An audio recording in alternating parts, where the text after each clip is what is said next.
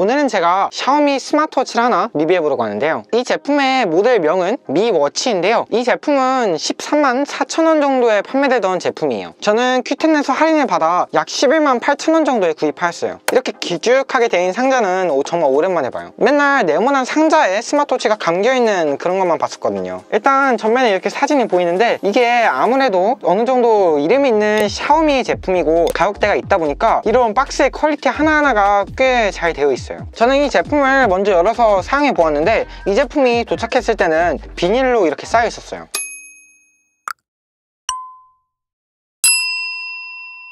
상자를 열어서 구성품을 살펴볼게요. 상자를 열자마자 이렇게 오른쪽 아래 샤오미 로고가 있는 보증 안내서가 하나가 들어있는데 한국어도 함께 포함되어 있어요. 보증 안내서를 들면 바로 스마트워치 본체가 나오는데요. 스마트워치의 전면과 함께 후면에 이렇게 보호 실이 붙여져서 도착했어요. 이런 세심한 배려 너무 좋더라고요. 이 제품의 경우 색상이 네이비, 화이트, 블랙 색상으로 총 세가지가 있었는데 저는 그중 블루 색상을 선택했어요. 위쪽에 있는 이 종이 박스를 열게 되면 안쪽에 추가 구성품 박스가 더 들어있어요. 오른쪽을 열게 될 경우 이렇게 미워치 사용 설명서가 있는데 여기에도 이렇게 한국어가 포함되어 있어요. 그리고 다음 왼쪽에는 이렇게 충전 케이블이 하나가 들어있는데 스마트워치를 자석으로 올려놓을 경우 바로 충전이 됩니다. 그런데 아쉽게도 가격이 10만원이 넘는 제품인데도 이게 무선 충전이 아니라는 점은 조금 아쉽더라고요. 처음 봤을 때 아날로그 시계 같은 느낌은 아니고 뭔가 심플한 느낌이 확실히 샤오미 제품이다 라는 생각이 들더라고요. 샤오미에서 나온 밑밴드 이런 제품만 봐도 뭔가 깔끔한 그런 느낌이 있잖아요. 이 제품도 그런 느낌이 있어요. 보니까 마감이 정말 잘 되어 있더라고요. 아주 고가의 제품처럼 마감이 뛰어나거나 그렇진 않은데 가격에 비해서는 마감이 잘 되어 있더라고요. 소재도 꽤 괜찮고 이렇게 손목에 닿는 부분이 정말 부드럽게 되어 있어가지고 착용했을 때 전혀 불편함이 없더라고요. 그리고 전면을 보면 이렇게 디스플레이와 함께 흰색 링이 이렇게 감겨져 있는데 이 제품 디자인의 키 포인트 같아요. 그리고 오른쪽 위쪽과 아래쪽에 이렇게 버튼 두 개가 있는데 하나는 스포츠 바로가기 버튼 하나는 뒤로 가기 및 홈 버튼이에요. 그리고 스트랩의 경우 바깥쪽에 패턴이 있는데요. 이게 눈에 잘 보이지는 않는데 이렇게 줄이 쭉 연속해서 나 있는 그런 패턴이 있어요. 이 패턴은 손으로 만져봤을 때 확실히 알 수 있는 그런 패턴이에요. 그리고 뒷면에 이렇게 각종 센서들과 함께 샤오미 로고 그리고 인증 마크가 위치해 있는데 보니까 센서의 종류가 정말 많아요. 이러한 점을 봐도 아주 저가의 워치는 아니라는 생각이 드네요. 스마트워치를 착용한 모습은 이런데요. 이렇게 딱 착용했을 때도 좀 두껍고 알이 커 보인다는 그런 느낌이 들어요. 그렇지만 전반적으로 저는 착용했을 때 디자인이 꽤 예쁘다고 생각해요. 그런데 크기감이 조금 있어가지고 여성분들이 착용했을 때는 조금 클 것 같다는 생각이 드네요. 그리고 이 제품을 착용했을 때 단점이 한 가지 있었는데요. 스마트워치를 착용하고 나서 끈 처리할 때 이렇게 뻑뻑함이 좀 느껴지더라고요. 조금 힘을 줘야지 이게 잘 들어가더라고요. 이 제품의 무게와 사이즈도 측정해 볼게요. 스트랩을 포함한 본체 무게는요. 49g이고요. 스트랩을 포함하지 않은 본체 무게는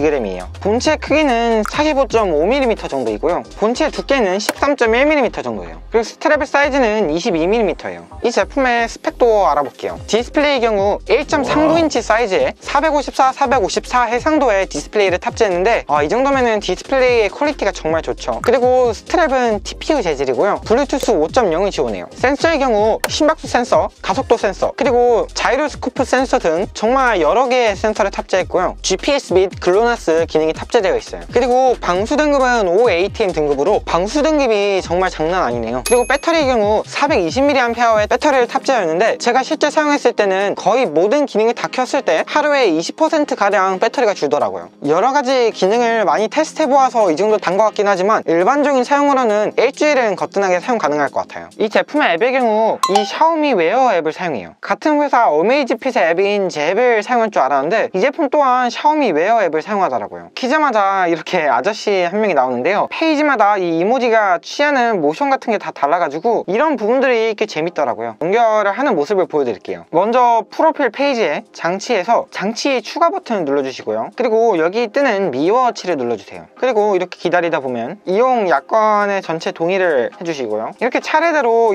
연결 절차가 뜨면서 다음 앱으로 이렇게 연결을 하며 연결이 완료가 됩니다. 연결하는 방법은 정말 쉽죠. 일단 한 가지 아쉬웠던 점이 앱 에서 설정할 수 있는 기능들이 그렇게 많지 않았어요. 대부분 스마트워치에서 모든 기능들을 설정하더라고요. 그래서 앱이 조금 깔끔한 맛이 있기는 있지만 이런 점이 저는 조금 아쉬웠어요. 아무래도 이 작은 화면으로 설정하는 것보다는 큰 화면으로 한 번에 설정하는 게 더 좋잖아요. 이 앱을 통해서는 앱 알림이나 수신 통화 알림을 설정할 수가 있고 그리고 watch face 페이지에서 온라인을 들어가면 이렇게 정말 많은 watch face 중 원하는 watch face로 바꿀 수가 있어요. 100여 가지가 넘는 watch face가 있다고 하더라고요. 이런 게임 화면 watch face를 하나 적용해보면 이렇게 적용을 해보았는데요. 이렇게 화면이 꽉 차는 watch face를 적용하니까 화질이나 이런 색감이 훨씬 더 좋아 보이네요. 아, 이런 버튼이 있으니까 너무 누르고 싶어요. 적용하는 속도도 생각보다 빠르더라고요. 그리고 쭉 내리다 보면 앱 알림 페이지가 있거든요. 여기서 앱 알림을 설정할 수가 있어요. 여기 카카오톡 알림도 받을 수 있어요. 그리고 수신 통화 페이지 들어가면 이렇게 통화 알림을 받을 수 있어요. 그리고 추가 설정에 가면 위젯 관리가 있는데 자신의 취향에 맞게 위젯의 순서를 이렇게 설정할 수가 있어요. 그리고 마지막으로 바로가기 버튼은요 여기 아래쪽 바로가기 버튼을 눌렀을 때 기본적으로 운동이 켜져 있게 설정이 되어 있는데 이 바로가기 버튼의 설정을 바꿀 수가 있어요. 앱 설명은 이렇게 마치고요. 스마트워치의 기능을 좀 살펴볼게요. 먼저 이 스마트워치는 AOD 기능을 지원해요. 그리고 전원을 키는 방법은 총 세 가지가 있는데 홈 버튼을 눌러서 키거나 아니면 손목을 찬 상태로 들어 올려서 화면을 키거나 마지막으로 화면을 두번 터치해서 knock on으로 킬 수가 있습니다. 그런데 여기서 또 한 가지 아쉬웠던 점이 있거든요. 이렇게 AOD 기능을 킬 경우 손목 들어 올려 화면 키기 기능을 활용할 수가 없더라고요. 이 점이 저는 조금 아쉬웠어요. 그리고 전체적인 UI 구성은요 이 메인 화면에서 위로 넘길 경우 이렇게 알림을 확인하는 페이지가 뜨고요. 그리고 아래로 넘길 경우 이렇게 간단 알림 설정 창이 나와요. 여기 이렇게 배터리 정보나 블루투스 아이콘이 저는 너무 귀엽더라고요. 그리고 오른쪽이나 왼쪽으로 넘길 경우 이런 각 기능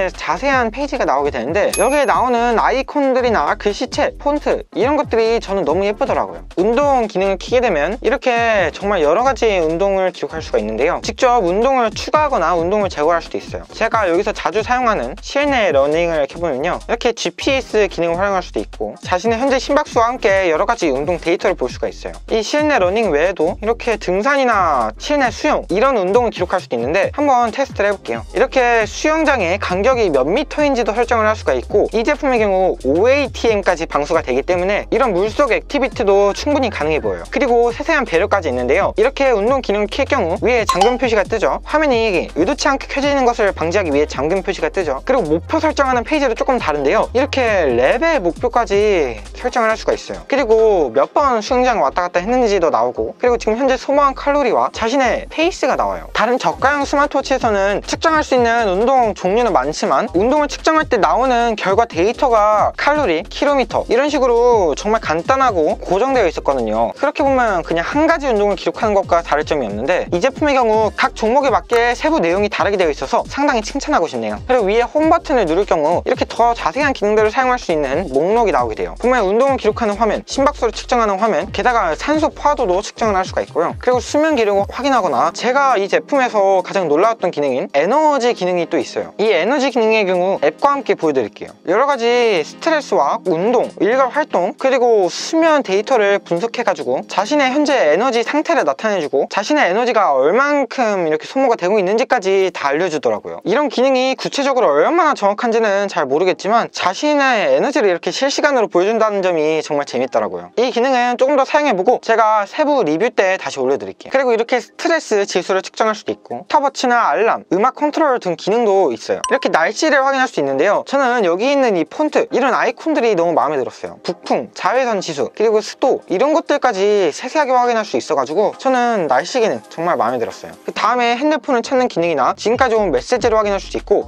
나침반 기능을 확인할 수가 있어요.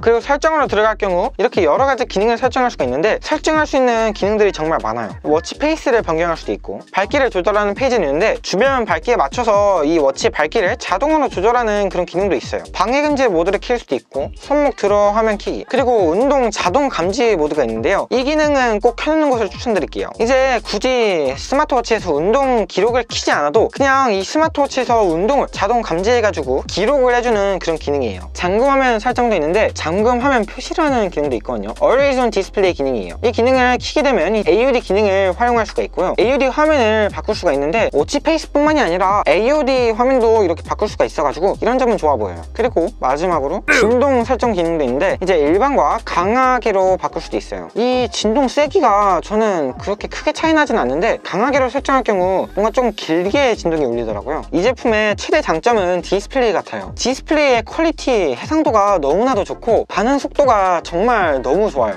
이렇게 빠르게 화면을 움직여도 하나도 밀림이 없죠. 현재 심박수를 보면 현재 기기는 101, 이 스마트워치도 102 얼추 이 정도 차이면은 잘 맞네요 정확해요. 산소 포화도 기능도 비교를 해볼게요. 어, 이렇게 측정될 때 이런 물결이 움직이는 화면 이런 것들의 퀄리티가 정말 우수해요. 산소 포화도 측정값도 정확하네요. 얼추 잘 나오는 듯 하네요. 이런 식으로 문자 알림이 잘 와요. 그렇지만 문자 로고는 뜨지 않고요. 이렇게 특수 문자와 함께 이렇게 요의 키읔 받침 비표준어까지 잘 오네요. 아 그런데 지금 하트를 보냈는데 하트는 뜨지 않네요. 그냥 별 모양으로 나와버리네요. 이 점은 조금 아쉬워요. 카카오톡 알림도 잘 오는데요. 장문의 메시지도 이렇게 부드럽게 잘 와요. 그런데 한 가지 아쉬운 점은 카카오톡 로고가 안 뜨고 이런 이모티콘이 잘 오지 않는다는 점. 오늘 리뷰를 정리해보면요. 미워치 제품 장점이 정말 많은 듯해요. 디스플레이 퀄리티도 정말 좋고 반응 속도도 정말 빠른 편이었어요. 특히 이렇게 색감을 구현하는 화면 퀄리티는 정말 높게 점수를 주고 싶어요. 그리고 운동 기능 같은 것도 워치에 세세한 기능들이 많고요.